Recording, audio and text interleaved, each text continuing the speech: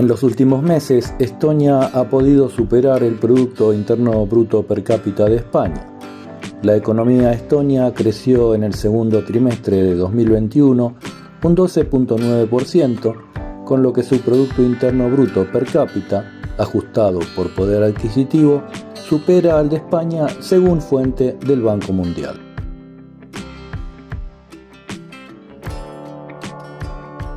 Esto es sorprendente ya que en 1995, solo cuatro años después de su independencia de la Unión Soviética, el Producto Interno Bruto per cápita de Estonia era prácticamente un tercio del español y en solo 26 años lo ha superado.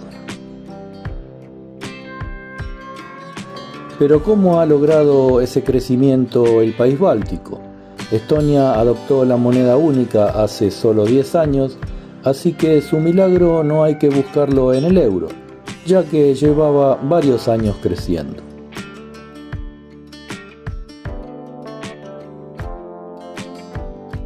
Los estonios están estrechamente relacionados con los finlandeses y sus idiomas también lo están. Tallinn, la capital, solo se encuentra a unos 80 kilómetros de Helsinki, la capital de Finlandia, y están a escasa distancia que se puede salvar mediante un barco. Antes de que la Unión Soviética ocupase Estonia en 1939, los estonios y finlandeses tenían casi el mismo nivel de vida, pero estos lograron mantener su libertad mediante una enérgica defensa contra la invasión soviética.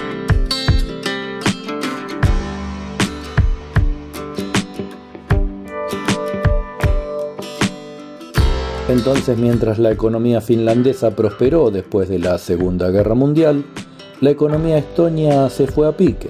Se estima que en 1987 los finlandeses eran siete veces más ricos per cápita que los estonios. A partir de la recuperación de la independencia de Estonia y como resultado de la adopción de reformas económicas y aperturas de mercado, los estonios han ido alcanzando a sus vecinos finlandeses, a quienes les ha seguido yendo bien, y ahora tienen unos dos tercios de los ingresos per cápita del finlandés medio. En 1993, un historiador de 32 años llamado Mart Lahr se convirtió en primer ministro. Bajo el liderazgo del señor Lahr, los estonios atacaron todos los frentes a gran velocidad en una terapia de choque.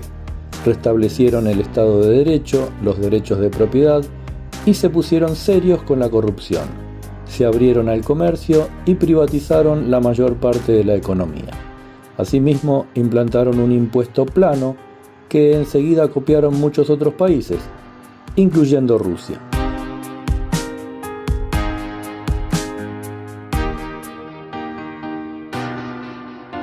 Desde entonces Estonia ha tenido el ratio de endeudamiento más bajo de Europa y ha mantenido políticas fiscales saludables, a diferencia de la mayoría de los países, incluyendo los Estados Unidos.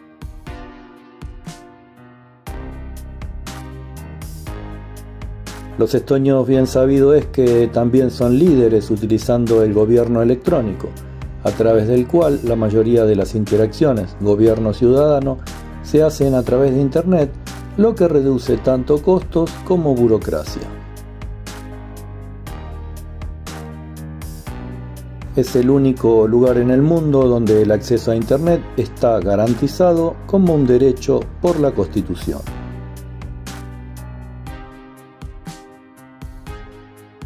El 70% del Producto Interno Bruto de Estonia se nutre del sector servicios y aquellos relacionados con las tecnologías de la información y la comunicación son los que más aportan al crecimiento de la riqueza nacional. Muchos son los factores que han propiciado el milagro estonio, pero se podrán resumir en la unión de la libertad económica con una buena utilización de las nuevas tecnologías.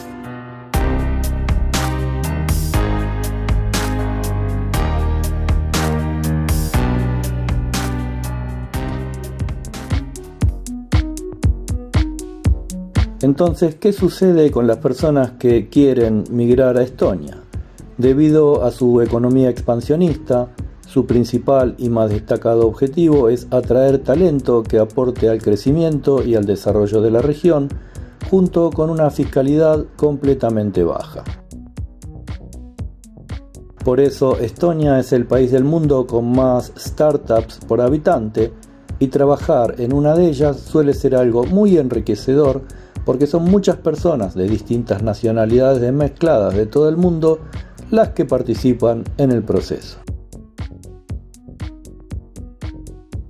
Los migrantes que trabajan en Estonia hablan generalmente de un sistema enriquecedor, donde las mezclas de nacionalidades de todo el mundo hace que se aprendan otros puntos de vista, otros sistemas educativos, bajo un total clima de tolerancia y compañerismo.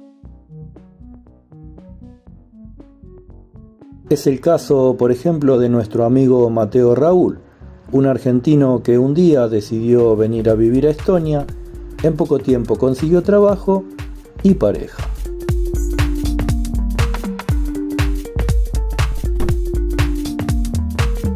Mateo y Lisana nos invitaron primero a degustar unos riquísimos panqueques y después a deambular por el centro histórico de Tallinn con sus hermosas vistas. Nuestro amigo argentino, además de trabajar en una empresa estonia, tiene el canal de YouTube en el que comparte sus vivencias en este país, al que pueden seguir en el link que dejo en la descripción del video. Quienes apuestan a vivir en Estonia tienen la sensación de vivir en un país seguro, sin ningún conflicto interno y con una economía estable, fuerte y con futuro lo que repercute en la estabilidad personal.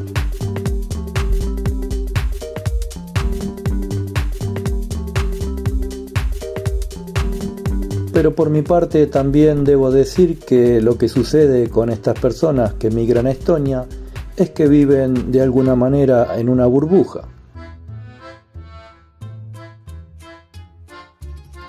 Es que por algo hay bases militares de la NATO en los países bálticos custodiando la frontera con el amigo ruso. Hay una fricción permanente y latente entre los países vecinos que también se verifica, aunque solapada, entre los estonios y la minoría rusa. A modo de cierre y según nuestro parecer en lo que hemos visto durante estos días en Estonia, este parece ser un país más abierto al mundo, sobre todo a Occidente. La cantidad de cartelería y sobre todo personas hablando en inglés e incluso en español es superior al país vecino.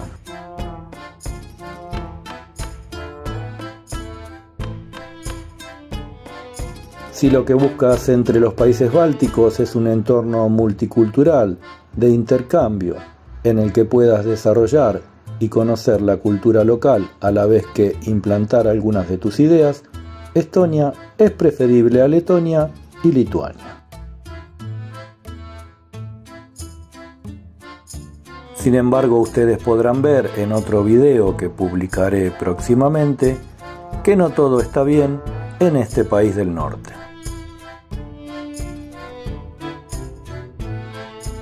Espero que les haya gustado este breve video sobre nuestras impresiones referidas a la posibilidad de emigrar a Estonia, que se suscriban al canal y nos vemos en el próximo.